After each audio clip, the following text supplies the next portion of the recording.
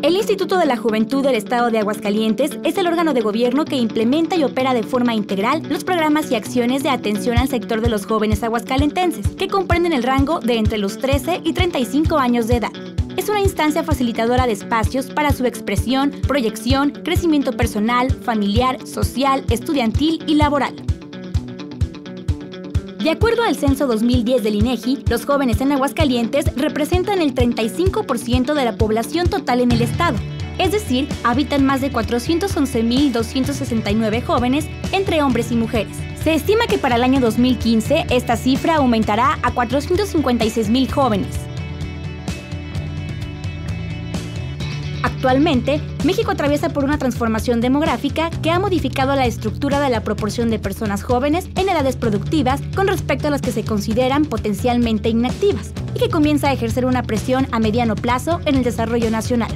La atención a este bono poblacional representado por la preeminencia de un mayor número de jóvenes frente a los adultos tiene enormes implicaciones económicas y sociales para el desarrollo individual y comunitario de la población en su conjunto, principalmente en lo que se refiere a la igualdad de oportunidades y de acceso a los servicios de salud, educación y empleo.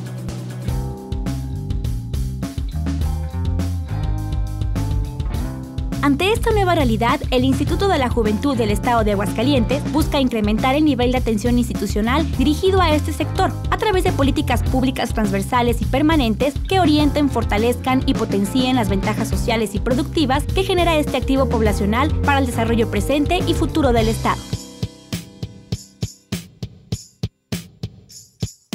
A partir del inicio de la nueva administración estatal, se planteó una reorganización del entonces Instituto Aguascalentense de la Juventud, debido a que se encontraba en una crítica situación administrativa y financiera que comprometía su operación. Sus adeudos sumaban 2 millones de pesos entre juicios laborales y débitos administrativos, mismos que han sido cubiertos gracias a convenios y gestiones realizadas por el gobernador del estado y por la propia Dirección General del Instituto.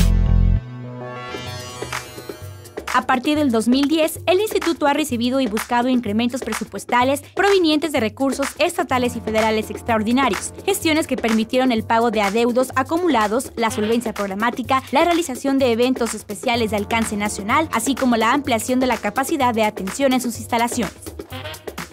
No obstante, que este incremento presupuestal ha solventado una parte importante de la estrategia programática del instituto, sigue faltando la normativa de un recurso etiquetado que evite el riesgo de depender anualmente de partidas especiales para la operación de los programas y proyectos que opera el instituto.